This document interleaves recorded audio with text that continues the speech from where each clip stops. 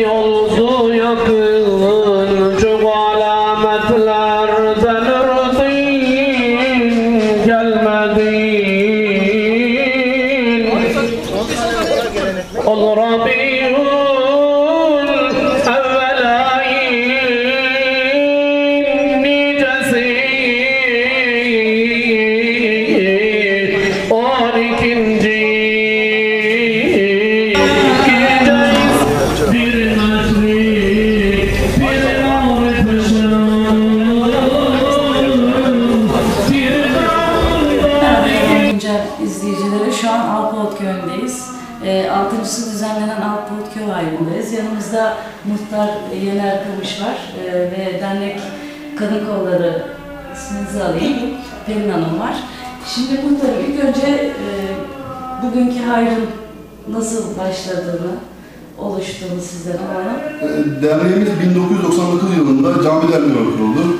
Ee, sonra e, faaliyet alanı genişletildi.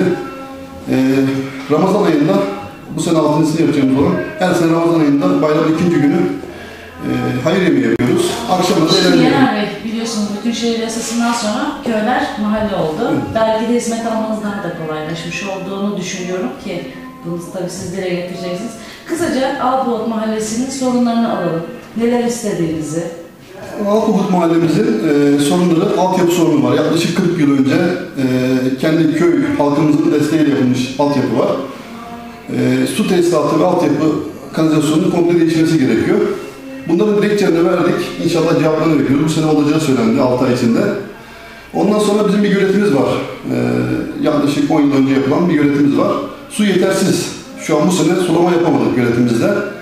E, Küçük Kavacık Deresi e, kışın boşa akıyor. E, boşa aktığı halde biz o suyu alamadık. O suyun, suyun bize bağlanması halinde köyümüz susuz kalmayacaktır. Tarım çok güzel şekilde sulama yapılacaktır tarım için. Onun için çalışmaları bekliyoruz. Bir de bizim e, şeyimiz var, aşevi sorunumuz var köyümüzde. Düğün sorunu sorunumuz. E, malzemeler alındı köy derneğimiz tarafından ama aşevimiz yok. Yerimiz mevcut. E, Sayın Belediye Başkanımız Mehmet Teki'ye de ilettik sorunlarımızı.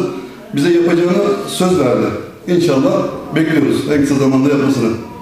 Yani köyde sırf sadece aşev ve düğün salonu bunun haricinde yani bir gelirleriniz nelerdir? Hayvancılık mı, tarım mı ya da istihdam iş olarak Ee, yıllar önce köyümüzde tütün vardı. Maalesef politikalar nedeniyle tütünümüz şu an yok. Tütün yapılmıyor.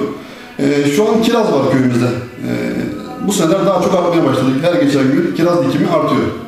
ama tabii alternatif üründe bulmanız gerekir herhalde. Aynen. Hayvancılık çok azaldı. Hayvancılık neredeyse yok diyeceğimiz kadar az.